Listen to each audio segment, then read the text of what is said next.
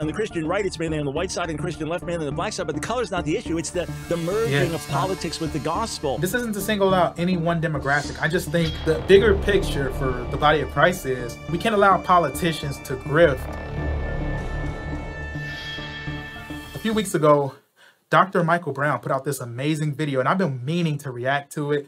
So we're going to get into this today, but basically where he talks about when the Christian left gets in bed with the Democrats. I do think the Christian left has gotten a pass. And again, I'm not I'm not on the right, I'm not on the left. I have no stake in this, but I just enjoy the discourse. But I feel like the Christian left has gotten sort of a pass on this, especially in the black church. And what you'll find in this is a whole lot of them. So we're going to check out this video when the Christian left gets in bed with the Democrats. And this is a good warning. But before we do, do me a quick favor, hit that thumbs up, like this video, subscribe to the channel, hit that notification bell, and let's get into it.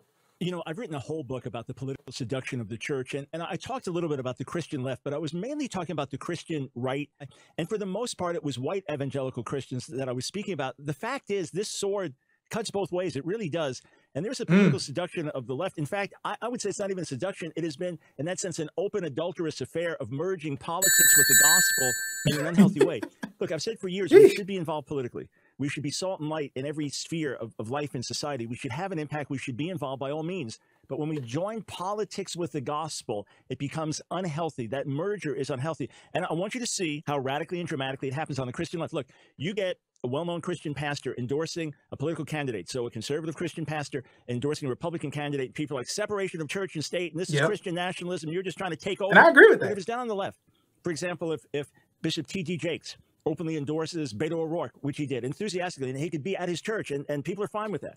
Or Creflo Dollar, Yeah, nobody- nobody brought uh, candidate in Georgia, Stacey Abrams, be at his church and encourage everyone to vote for her. That can be done, and you don't have the media shouting separation of church and state, Christian nationalism. So I, I- want to just illustrate this for you. I want you to see this with your own eyes, so you can see the double standard, so you can see how the hypocrisy, how you can This see the same media that would go berserk if we did something like this in conservative Christian circles with a Republican candidate. It's not even looked at. In fact, it's it's more celebrated when it happens on the left. So here's the first clip, and most of these involve Pastor Raphael Warnock, who is the current senator in Georgia and is running for re-election right now as I record this video. So here's a Baptist pastor praying over him in a church service, praying Psalm 23 over him, saying that God has given this him this assignment and likening him to Moses in the Bible, to Nehemiah in the Bible, to David who fights Goliath. Yeah, this is at a, a church service. Let's watch. We thank you even now for how you have given him this assignment, and we pray even now, God, that you would go before him, be his shepherd, be behind him with goodness and mercy, be on the right and on the left with the rod and with the staff, be beneath him as a solid foundation, but anoint even now his head afresh with oil. We give your name praise. We give your name glory for a Nehemiah that is building, for a David that is willing to stand against a Goliath. We thank you right now Whoa. He said for Nehemiah, for a David? I beg your pardon. What? Come on now, dog. Come on, Oh man. my goodness, bro.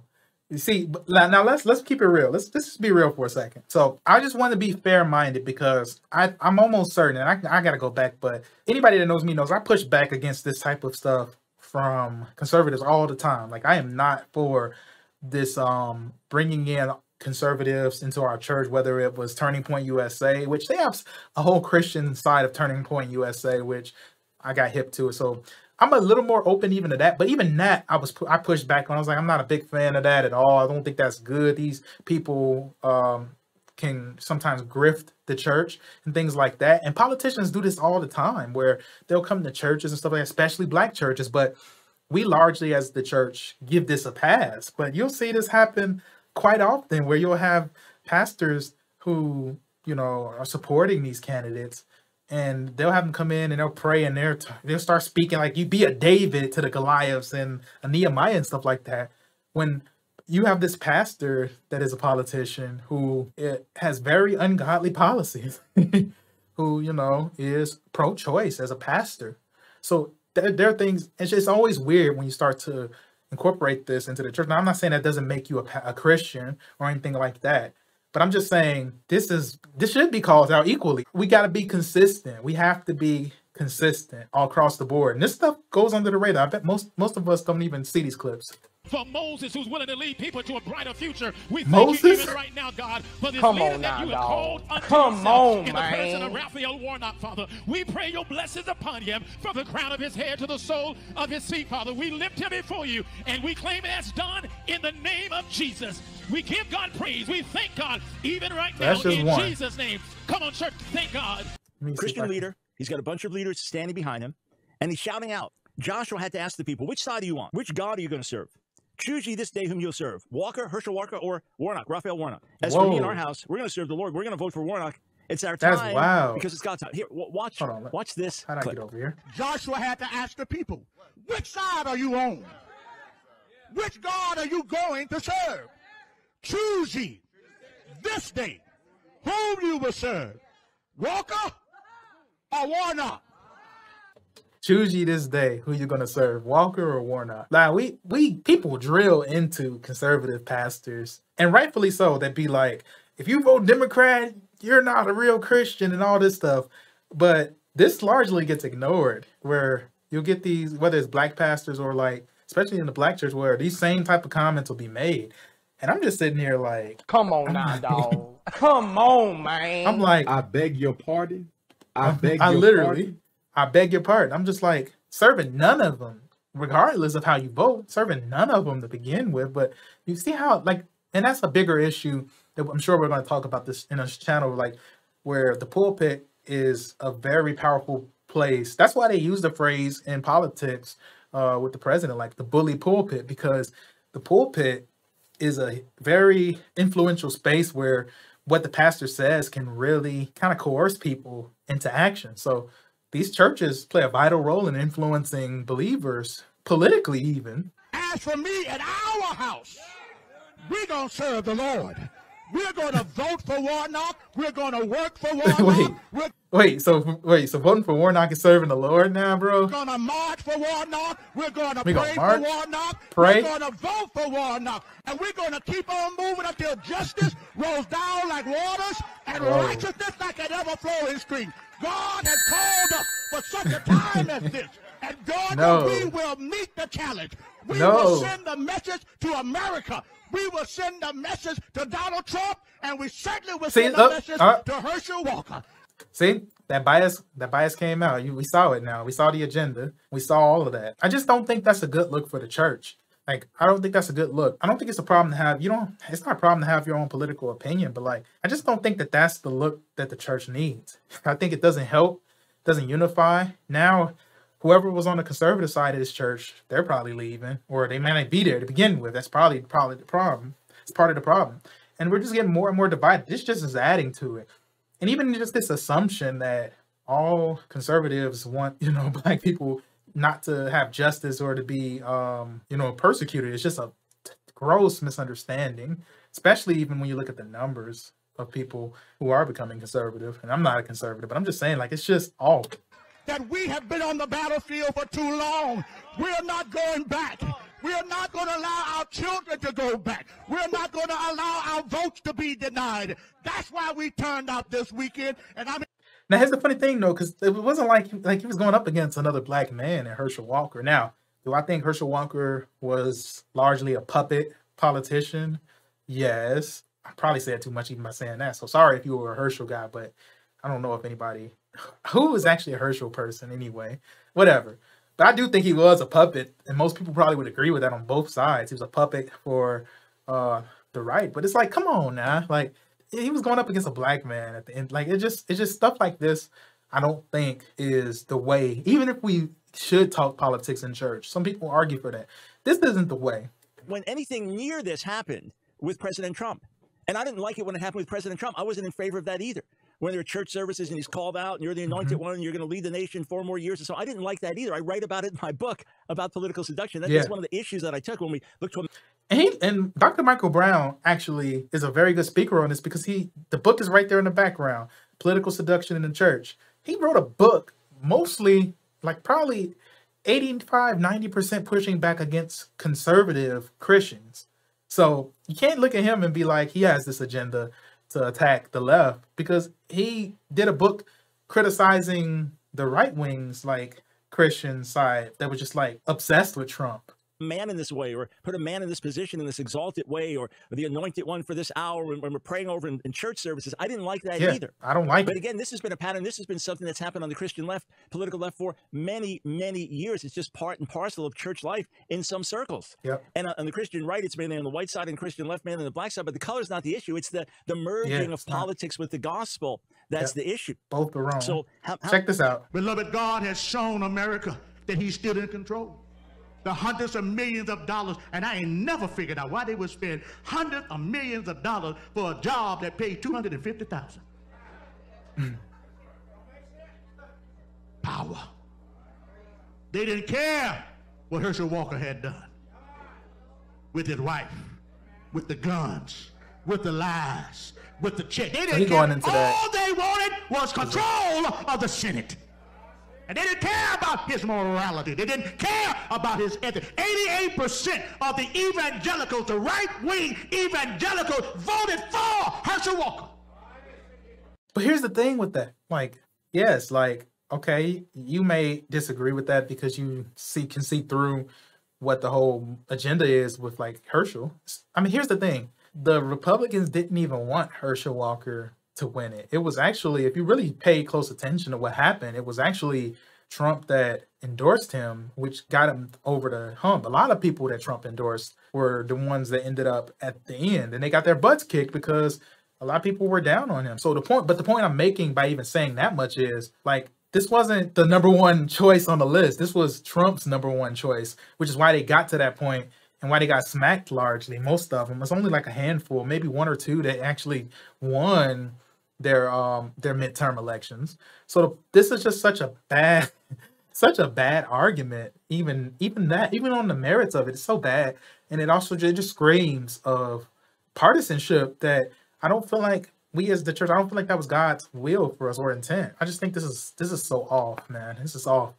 Do me a favor guys, you're enjoying this, hit that thumbs up. If you haven't already, make sure you like this video. And if you're not subscribed to the channel, make sure you hit that subscribe button. You're missing out. And we got a lot of content coming on the way. But let's continue this. 88% on it. And then somebody's church this morning talking about praise the Lord. What's wrong with that? Like what who who cares who you vote for? I mean, yeah, I, yeah, there could be some wisdom in not voting Democrat. There could be some wisdom in not voting Republican at a given time.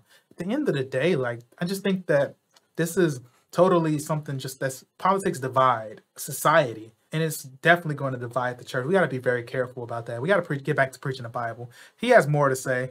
I just want to get to um, all of these. Uh, this one is this one. With, yeah, I think this is uh, William William Murphy. I've been very disappointed. Like I didn't know William. I know he his, some of his music. He makes good music, but once I started hearing some of the stuff he was saying as a pastor about like um like the pro-choice stuff and all of that, it turned me completely off from him. But check this out. So y'all telling me there are miracles all over this room tonight? Listen, the Spirit of God is here. And listen, we're going to pause for just a moment. And I believe with all of my heart that God is all right with this, that God would have mm. us to mix worship and justice and. Now, notice that in the black church, they all use this word justice as they use the word justice as a means of them spouting off political beliefs. Now, I'm not trying to. I'm not trying to single out black church. I'm just saying that you. It's a reason why most of these examples are this way because you see it more. You see this the most in that demographic. Just like in predominantly white churches, you see conservative politicians propped up in the messages and sermons. So I'm I'm not trying to say all black churches, but I'm just using this so that we can have a legit conversation. Politics and legislation. I was having a conversation just a little earlier tonight, and this should have always originated in the house of God. If we're going to win this election, it's going to be because God is with us. If we? what is up with that? And I'm decreeing and declaring that folk who had no oh. intention. They go that decreeing and decreeing and declaring. Um, they go that decreeing and declaring untitled. He he'll know what I'm talking about. But see, you see, see here it comes. On voting for Raphael Warnock are going to get in the voting booth, and the Spirit of God is going to arrest them. Can I get somebody else to decree it and declare it? That God is turning the hearts of people in the direction I ain't telling nobody who to vote for. I'm just telling you what I sense by the Spirit of God. Because I can't tell you who to vote for, but I can tell you what I believe. That people are going to get in the voting booth and their hearts are going to be turned towards God's man. People's hearts are going to be turned towards God's who? I beg your pardon. God's man. He's doing the exact same mistake people made with Trump and other po- politicians. God's man. Now, granted, Warnock won, but to call him God's man, to call anybody God's man, I think it's just putting somebody on an unnecessary platform where they can't live up to it. One and two, it's just like that is just so. I mean, that is man, that is so off. Come on now, dog. Come on, man. Let's, I want to call to the stage. There are so many pastors who literally preached in their church, ran to the airport, jumped on a plane, and flew to Atlanta to stand with our senator tonight.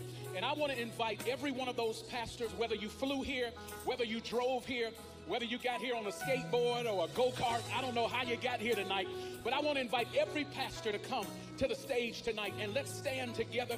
So these are all Christian leaders, most of them in church services, church settings, worship settings, bringing God, the gospel, politics, Raphael Warnock all together. And remember, he's pro-abortion. Re- remember, he supports quote a woman's right to have an abortion.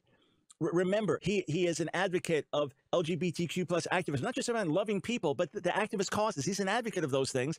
And being endorsed as God's man and the Spirit's on him. Let me say this.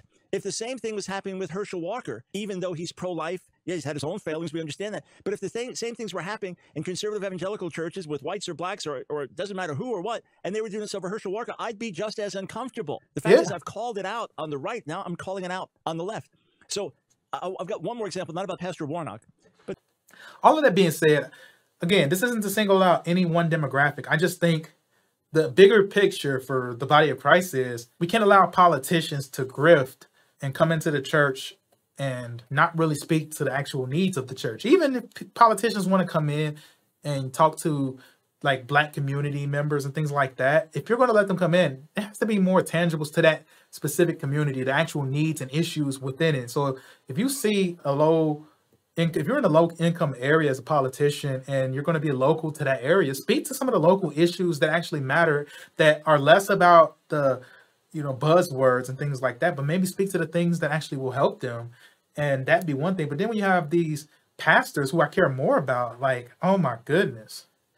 Oh my goodness. Like this is disgusting. And I think the issue comes in not when Christians have opinions about politicians, but it comes in when pastors have these positions because they literally divide up the church and they really put people who may have a difference of opinion when it comes to that in a bad situation and it just does not do well for anyone. So that's all i really want to say about it. I would love to hear your thoughts on it. Make sure you leave a comment. Hit the thumbs up if you haven't already on this video. Subscribe to the channel and hit that notification bell so you don't miss on any videos that come out. Uh, Glocks loaded at the opponent, I'm a reach. Stop sewing to get a bonus, that's a reach. I was born to meet the moment, so I feast. No lie, feast. You know why? Feast. Glocks